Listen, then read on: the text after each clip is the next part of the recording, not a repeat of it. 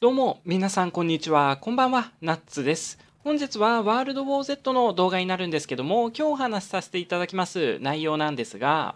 強化優先度の低い武器種ということで簡単にご紹介させていただきます。特別弱いということはないんですが、他の武器と比べてみた際にやや劣ってしまう部分があるかなということで個人的な意見ではあるんですがご紹介させていただきます。メイン武器の中で強化優先度が低いものになるんですけども、その武器種というのがサブマシンガンかなと思っております。サブマシンガンは連射力が非常に高かったりしますので、使用していてものすごく楽しい武器ではあるんですけども、性能面のみを見た時に他の武器よりもやや劣っているかなと思います。というのもですね、サブマシンガンの特徴で言いますと、基本的には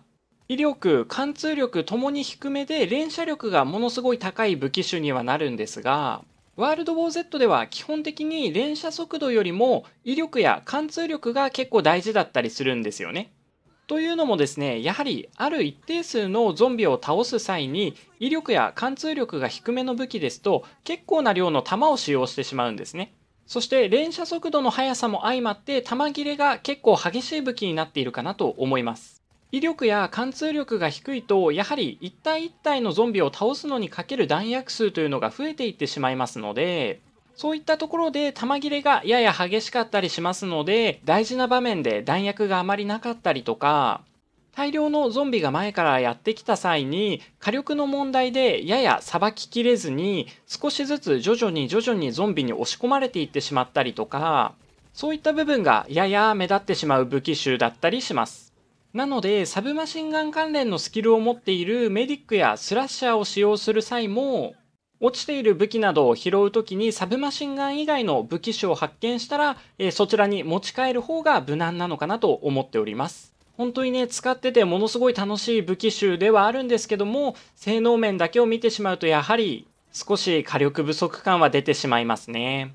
ちなみに Tier 3のサブマシンガン、アドバンスド SMG というサブマシンガンがあるんですが、まあ、いわゆるベクターみたいなえー武器にはなるんですけども、こちらの武器に関しましては、他のサブマシンガンと比較しますと、やや火力も高いですし、圧倒的な連射速度、さらには60発という結構多めな相談数を持っておりますので、比較的使いやすく結構強力ではあるんですが、やはりそれでも Tier 3の他の武器種と比較してしまいますと火力だったりとか貫通力が劣ってしまいますので難易度によっては Tier 3のサブマシンガンでもやや火力不足になってしまうかなと思います。個人的に現環境でサブマシンガンを使っていてやや火力不足感がどうしても出てしまうなと思う難易度なんですがインセイン以降インセインエクストリームになるとどうしても少し厳しい部分も出てくるかなと思っております。そして先ほどお話しさせていただきました Tier 3のサブマシンガンアドバンスド SMG なんですが